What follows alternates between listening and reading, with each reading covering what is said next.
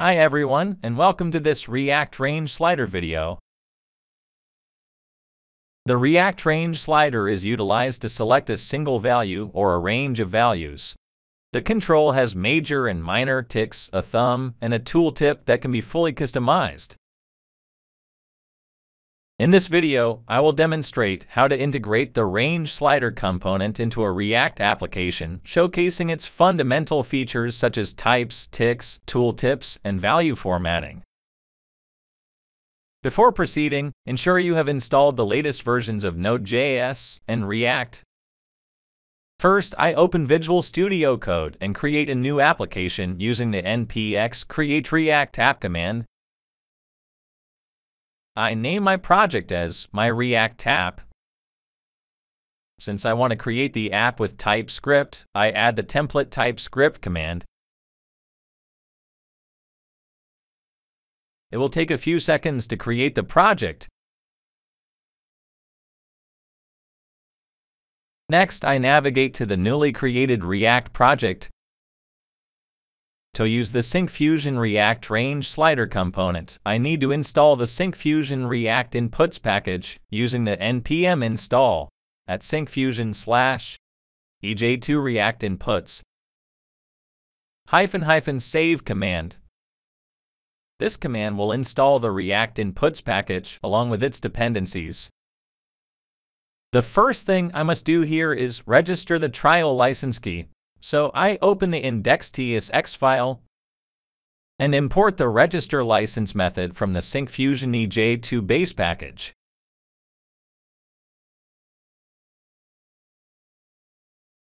To generate this trial key, refer to the link in the description below.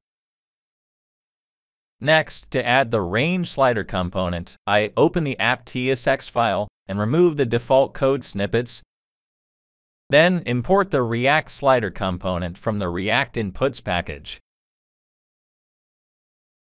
To add CSS styles for the slider component, I start by opening the app CSS file and importing the necessary material theme references. Additionally, I include dependent CSS references such as buttons and pop-ups. Next, to add the slider component, Use the slider component tag to render the slider. Set a custom slider value using the value property. I set its value to 30. Then in the app CSS file, I set the padding top to 40 pixels to align the component in the output page. Now save the changes and run the application using the npm start command Check now, the range slider is rendered with the set value of 30. You can choose any desired value. This is the default slider type for selecting a single value. The other slider types are min-range and range. To render a min-range slider, set the type property to min-range.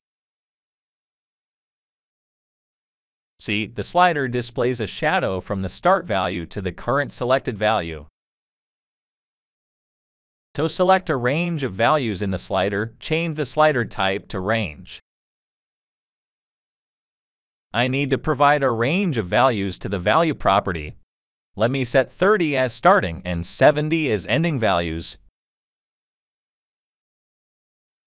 Checking now, the specified range is selected in the slider. Next, I will show you how to display a tooltip in the slider. I define the tooltip property, and within it, I set the isVisible property to true. See now, the tooltip is shown when I click the slider bar or drag the handle. To always show the tooltip, set the Show On property to Always, See here, the tooltip is always shown, and note that it appears above the slider bar. To change this tooltip position, set the placement property to after. Now the tooltip displays below the slider.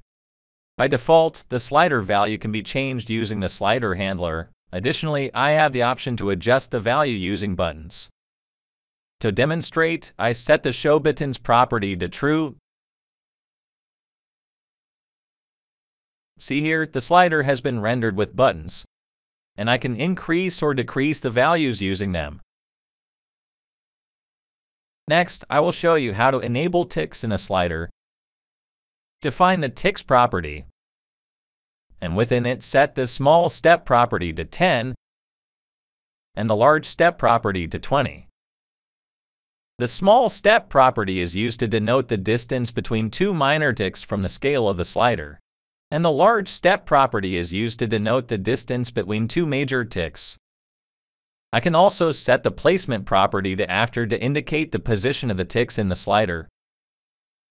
Then set the show small ticks property to true to show the minor ticks. Look, the slider renders with ticks. The large step ticks are spaced at a distance of 20 units, and the small step ticks are spaced at 10 units.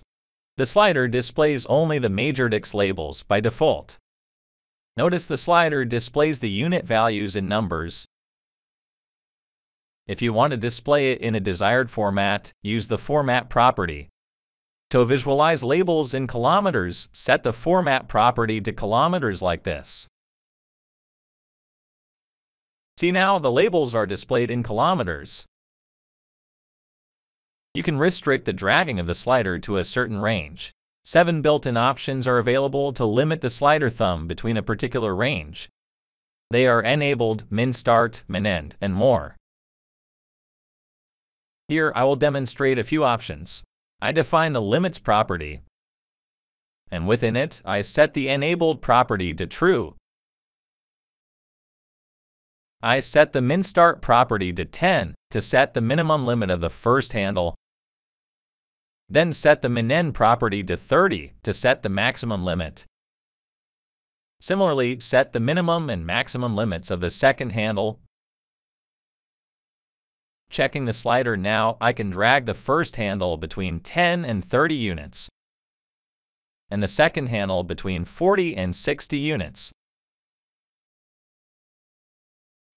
Finally, I will show you how to add custom styles to the slider.